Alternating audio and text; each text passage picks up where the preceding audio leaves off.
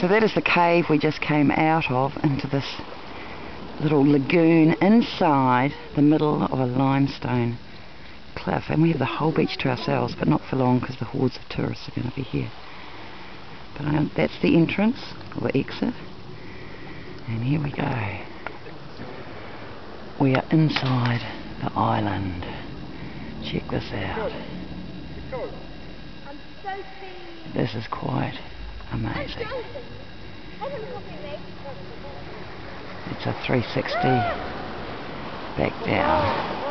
That's the entrance. Got friends coming out in their kayak shortly. Sunburn out.